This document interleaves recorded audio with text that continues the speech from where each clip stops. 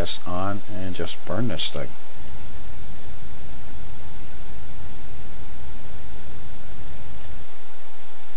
That's pretty doggone close.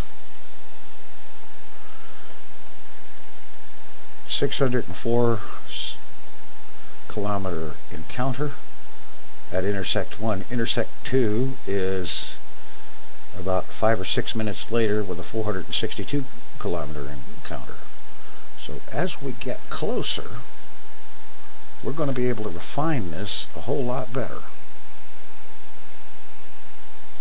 And since we don't have much else going on, let's just time warp closer and see about improving this encounter.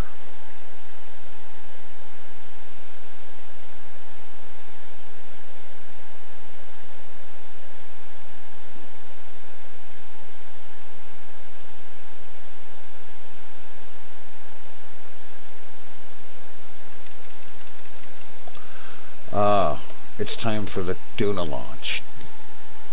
Okay. Let's see. Let's set some kind of an alarm for this thing.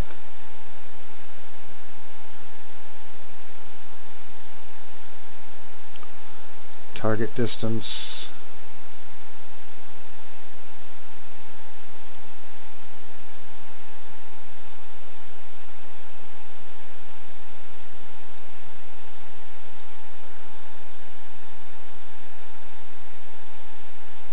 Let's give it a, uh, yeah, well we're a hundred thousand kilometers out.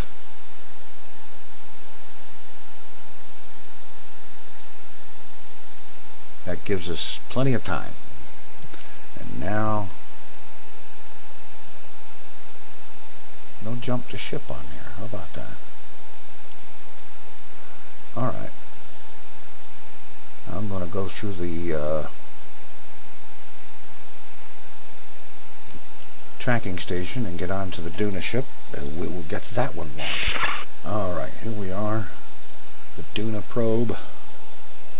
Let's flip out here and get our target set.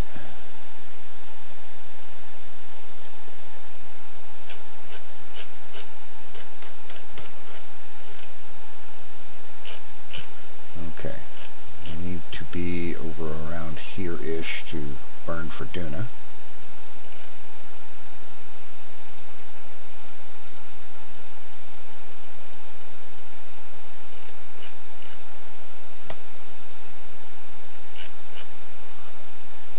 Already got a close approach.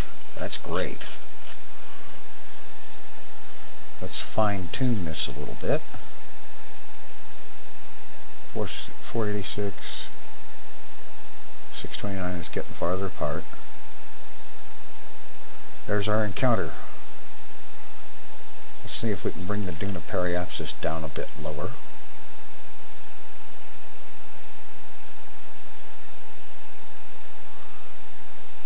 Thirty thousand,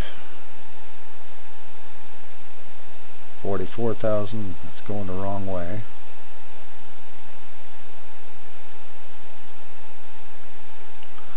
Okay, I guess we just take this one for right now and refine closest approach when we're closer. Okay, 20 minutes until a 1000 meter per second burn.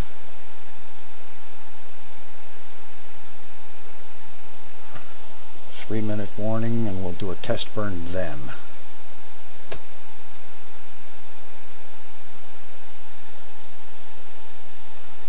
Lined up and get down to burn time. Alright, it is time to send this thing on its way to Duna. First up, we'll give it a test burn to get an estimated burn time.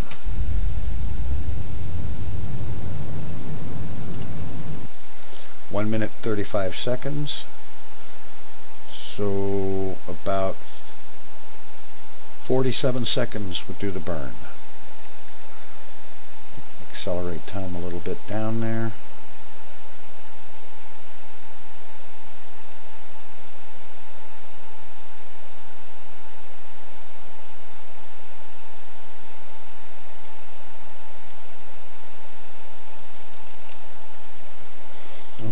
Just about to time.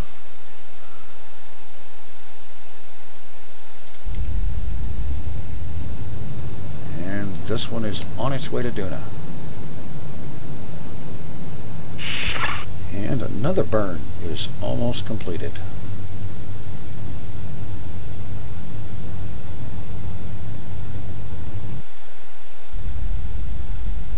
Fine tuning there. Think we can ask for better than that. Let's have a look.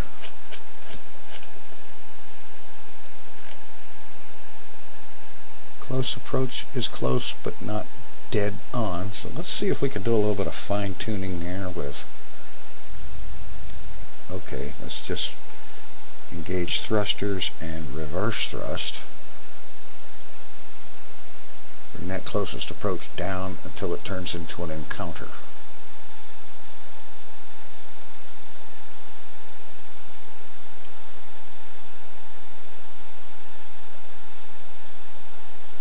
I believe it has to be less than about 45,000 to be an encounter with Duna. We'll see.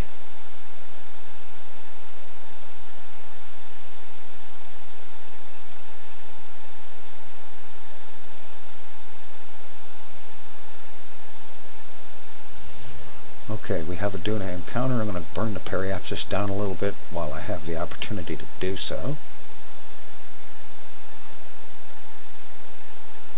At least until it starts going back up.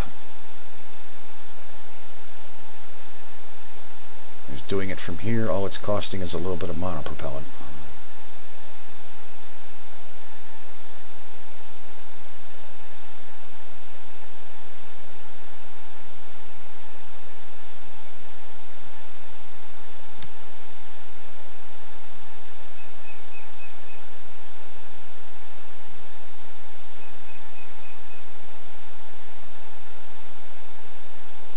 Alright, it's starting to go back up there, so we'll turn RCS off.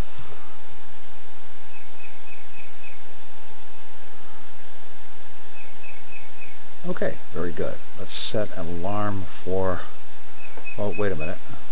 Let's fly this thing out of the Kerbal sphere of influence. Kerbin sphere of influence. And then set an alarm for the Duna encounter. The next thing we'll be needing to deal with is the sundiver because it will be nearing periapsis, a very hot and steamy periapsis, very crispy periapsis at the sun.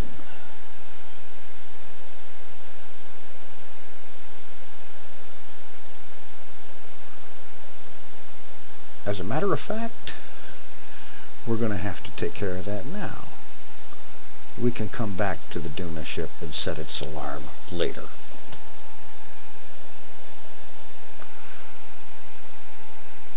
Oh, I deleted it. Doggone it. Okay.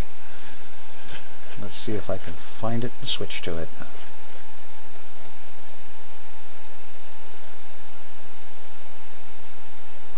Switching to Sundiver 1.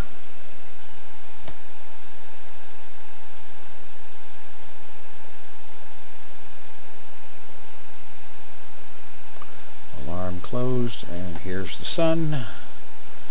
Current altitude is 6 something or other, 6,000 kilometers. And we are descending. Let's go ahead and have this thing turn it retrograde. No, turn it prograde.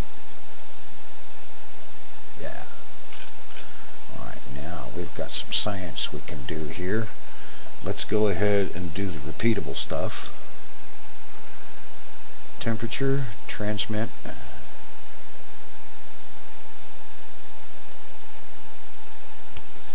And let's see, one materials bay. We're in space near the sun. Great. If we could return that, it would be 275 science. That would be awesome. But, uh, go ahead, transmit. And let's do some of the goo containers.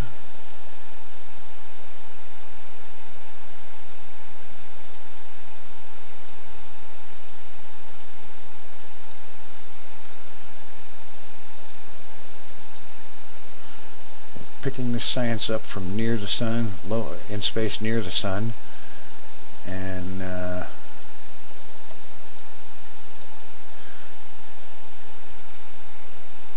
in space near the sun, we should be able to get something high over the sun after periapsis, which is when we'll use the other four goo containers and the second materials bay.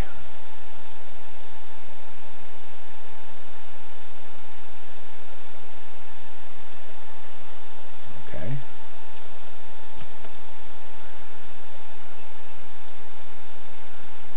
Okay, now temperature data again. Oh, well, we're not going to get any science from it. We would if we could recover it, but I doubt that recovery is going to happen with this one.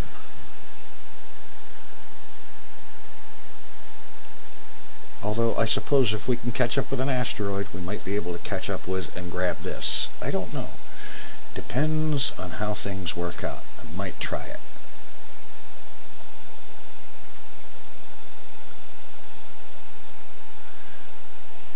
Okay.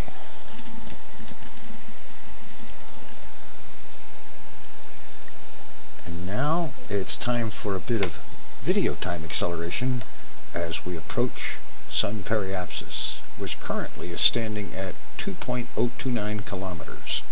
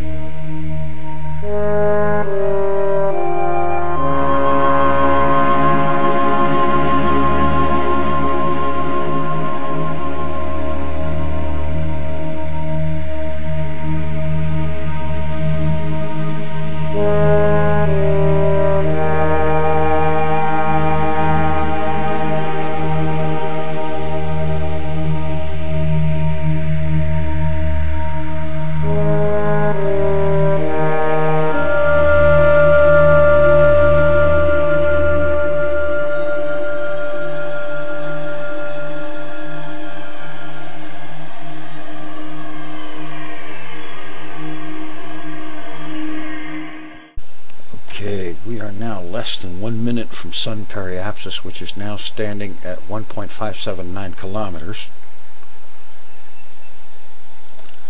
Let's see. If I engage RCS, it doesn't start up and start burning. That's good. Alright.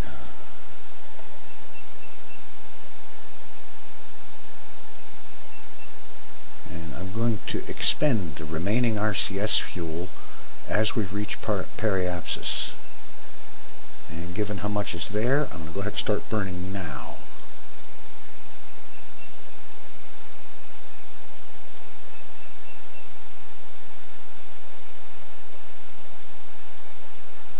And we are achieving some kind of a record here. I know it's personal record. Closest approach to the sun, 1.556 kilometers not bad. And we are now accelerating out away from periapsis at better than 90 kilometers per second. I gotta tell you, that's fast.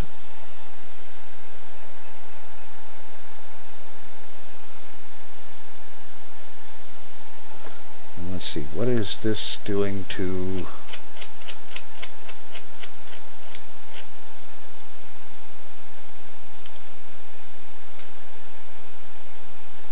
it's sending this thing way out there. Good. If I burn up all of the RCS fuel here, good old Oberth effect, it ought to be really impressive this close to the sun. My only comment about the sun is that I really wish that it had occasional random sunspots just so that the surface had some kind of detail.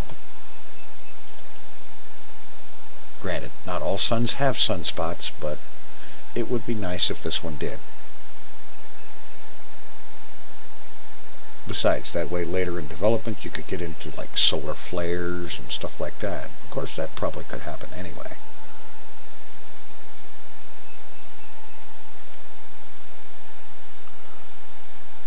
This thing might even get out to the orbit of Duna.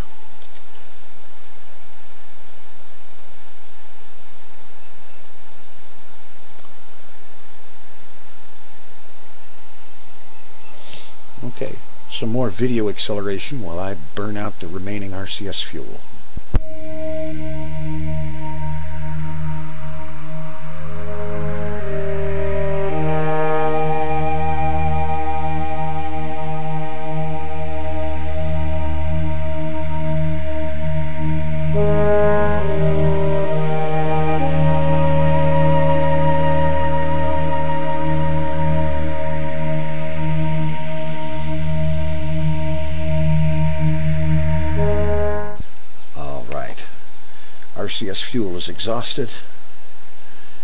This thing is now coasting and its apoapsis is past the orbit of Duna which might just make it possible to recover it asteroid style with a grabber ship.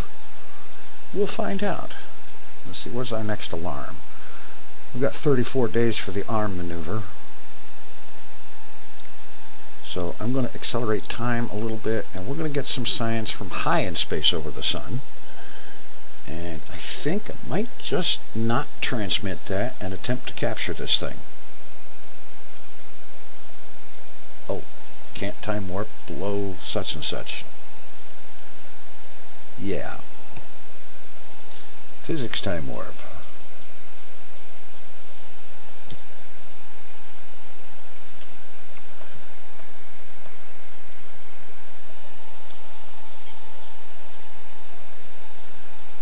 I'll be back when this thing is far enough out to get high in space over the sun.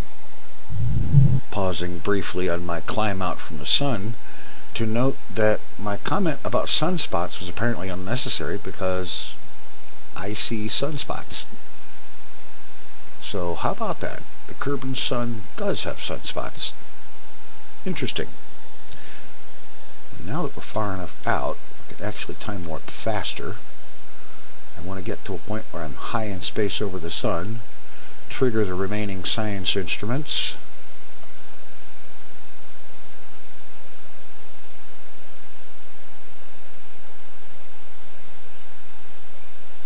and then get about the business of uh, getting on to the next thing to do. So it's going to be at Apoapsis in 47 days.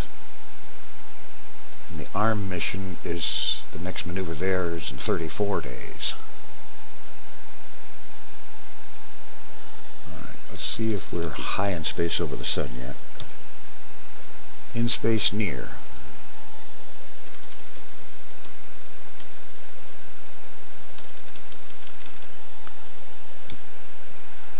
In space near. Given how big the sun is, high in space is probably going to be pretty doggone high.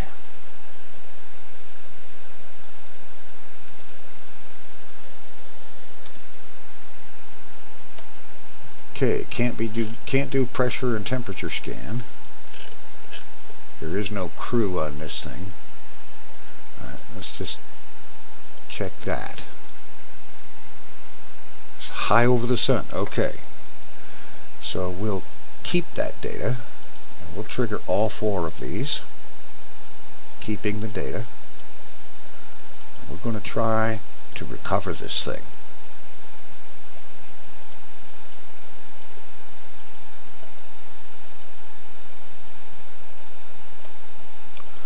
Okay, and the material bay.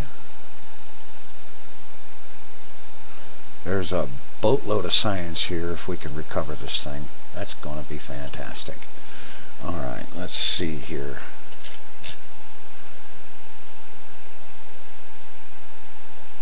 I'm going to put an alarm on this for apoapsis.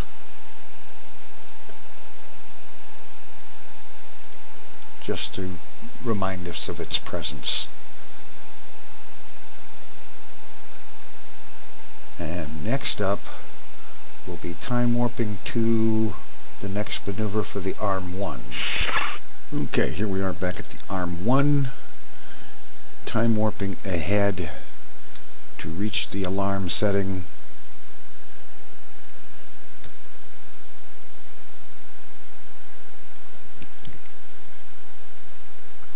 Once we get to the target distance, should put the brakes on.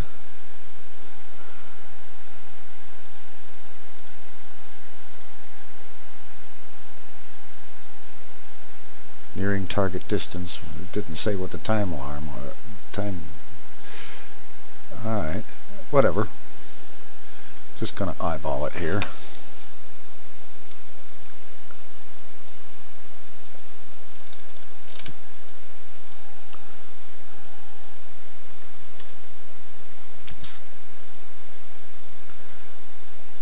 We get close to our approach.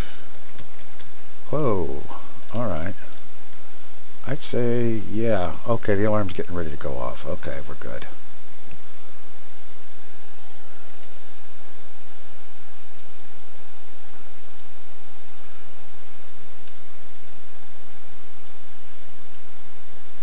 Let's time warp a little bit more.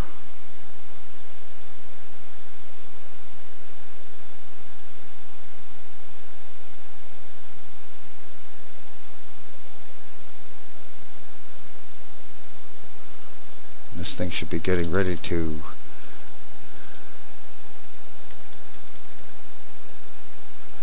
enter the Kerbin sphere of influence. And I'm going to go ahead and kill this alarm because we're getting close enough as it is here. Alright, let's see our flight information here, flight stats. Bring that up, we're probably going to need it. Closest approach distance is 400 kilometers. Right now it's 605 kilometers out.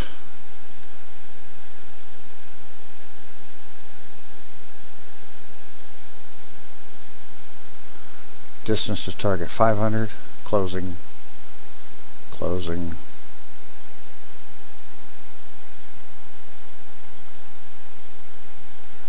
Okay, we're approaching our closest approach distance.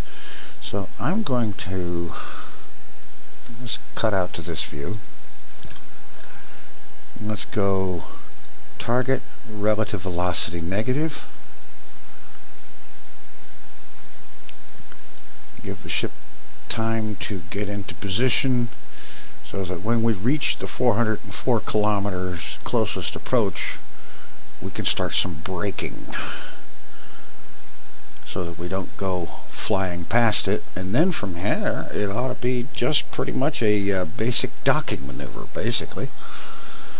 Did I say basic enough times? Okay time warp a little bit more here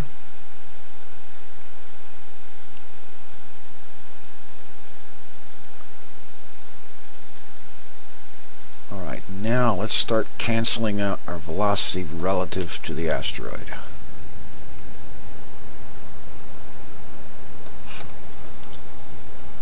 And this fuel tank is going to run dry in the process, I'll bet.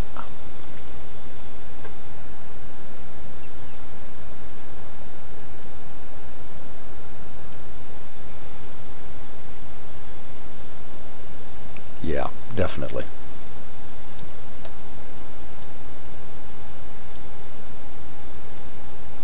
That's fine. We still have another Jumbo 64.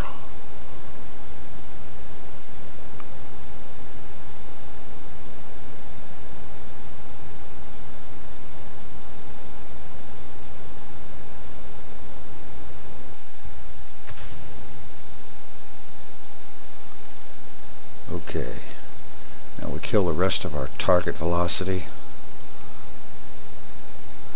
And then we commence to approaching that target.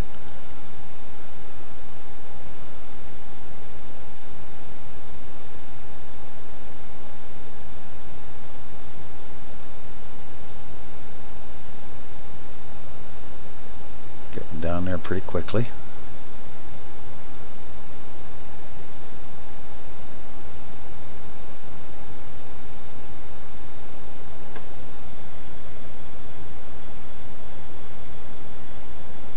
We're holding at 404 kilometers closest approach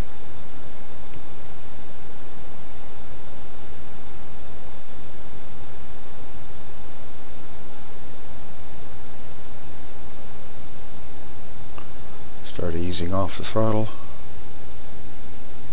Cut right there. Alright, target positive.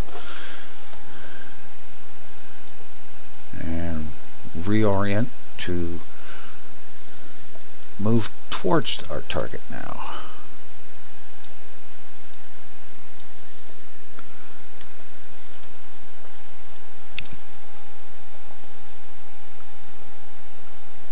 Although I do want to make it a point to try to approach this thing from behind after it passes.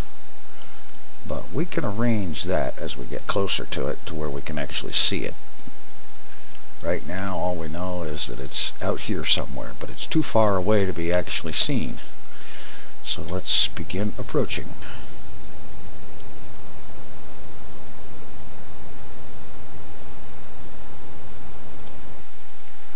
Closest approach distance is now 10 kilometers. We'll go back to relative negative. Really? This is just a docking maneuver now. Albeit we're docking with an office building pretty much.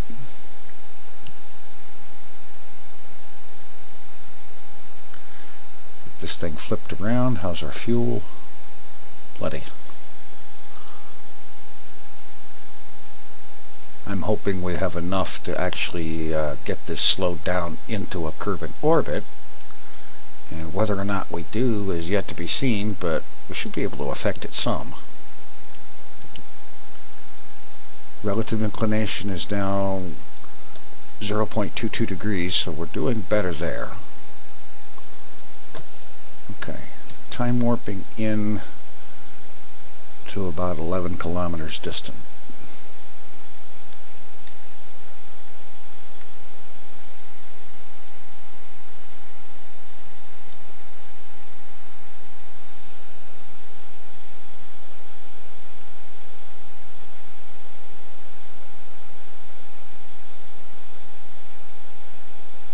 Approaching 100 there it is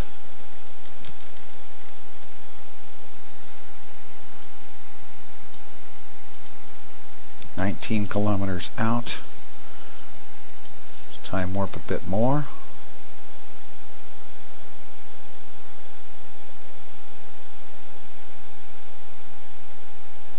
Get our distance to target down to about 12 kilometers and start braking.